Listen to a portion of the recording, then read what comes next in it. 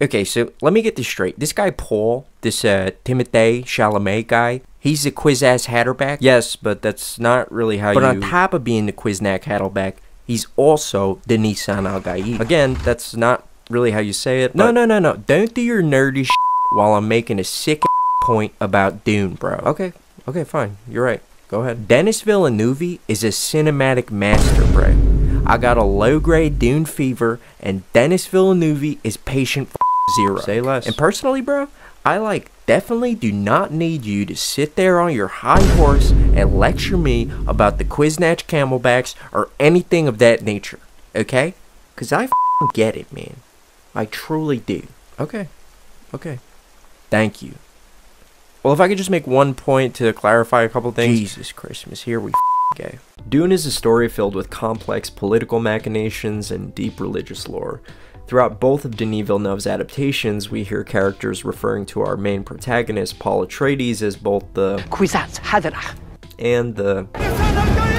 If you were confused about the distinction between these two lofty titles, don't worry, I was too before I read the books and did some deep dives on the wikis. So let's start with the Kwisatz Haderach.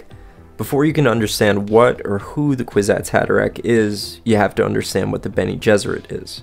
The Bene Gesserit is an ancient and secretive sisterhood of highly trained mystics who have meticulously honed their minds and bodies throughout the millennia to achieve near superhuman prowess in the areas of combat, statecraft, and social manipulation. In the world of Dune, the Bene Gesserit is feared, respected, and acutely involved in shaping the political landscape of the Imperium. The Bene Gesserit exerts its will on the Imperium in many shadowy ways, but the primary source of its power is through marriage, or if they can't swing that, concubinage, which is the regrettably archaic practice of a powerful man keeping a female lover in his noble household without officially tying the knot. For example, Lady Jessica wasn't actually Leto's wife, but merely his concubine. By entangling themselves so closely into the noble families of the Imperium, the Bene Gesserit can keep tabs on major power players and manipulate the tides of political change in their favor. Everyone in the Imperium knows that the Bene Gesserit is always scheming and plotting. Schemes and plots are the same thing. It's pretty much an open secret. But there is one scheme the Bene Gesserit has gone to great lengths to keep secret above all others the Kwisatz Haderach breeding program. You know how I mentioned before that the Bene Gesserit married into noble houses to gain access to the politics of the Imperium? Yeah, well, there's a little bit more to it than that. By the start of the first Dune book, the Bene Gesserit had been covertly operating a eugenic breeding program that mixed the genetics of particular people with particular attributes in the hopes of eventually creating the Kwisatz Haderach, a superhuman with the ability to see into the future and access the consciousnesses of all who came before him. The Bene Gesserit planned to use and control this superhuman to tighten their stranglehold on the Imperium and guide humanity onto a more enlightened path. But knowing how these ladies tend to operate, I'd take all that enlightened path stuff with a shaker of salt. But anyway, for dozens of generations, this top secret breeding program was going off without a hitch. The Sisterhood felt the program was nearing an end, with only one generation left to go until they had the Kwisatz Haderach in their clutches.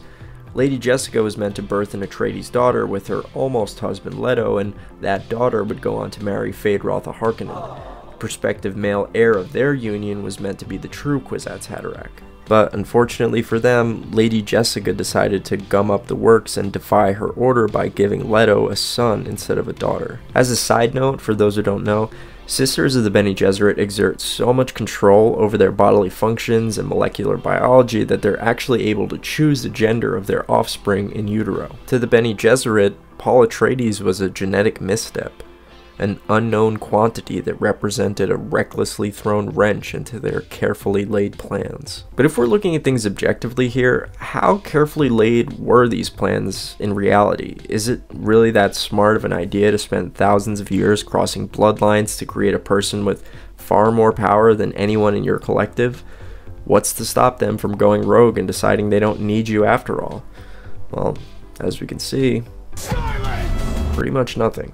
But this breeding program wasn't the only secret Bene Gesserit plan that eventually blew up in their faces, as you'll learn as we move on to the Lisan al-Gaib prophecy. The Bene Gesserit are certainly shrewd political operators, but they also use religious manipulation to further their designs. Throughout the millennia, the Bene Gesserit have sent emissaries to select planets in the Imperium to proliferate useful religious propaganda within the native populations as a part of a program called the Missionaria Protectiva.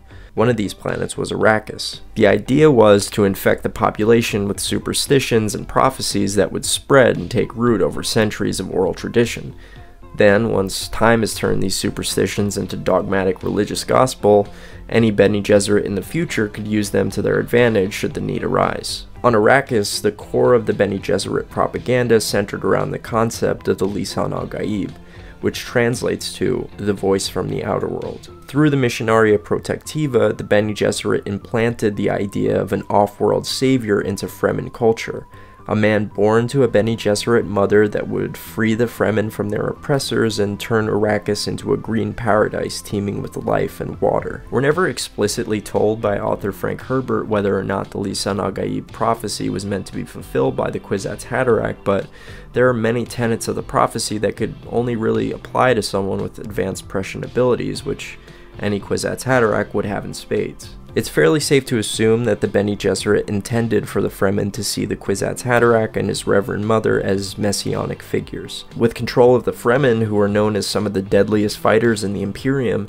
the Bene Gesserit would have an unrivaled hold on spice production and the most politically useful planet in the Imperium, through the religious allegiance won by two of their most integral apparatchiks. But with all that power, what's stopping those two integral apparatchiks from going rogue and defying the Bene Gesserit order?